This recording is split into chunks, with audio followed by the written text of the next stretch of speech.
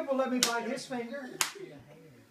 Look at that. See, look, I can bite Jacob's finger. He lets me. No! Wait, just one time. Hey, Tony Luca. Bite your ear.